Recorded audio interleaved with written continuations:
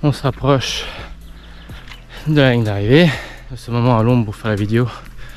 Ah, il fait, euh, il fait chaud. Hein. Heureusement qu'il y a des points d'eau un peu partout pour qu'on puisse se rafraîchir. J'espère.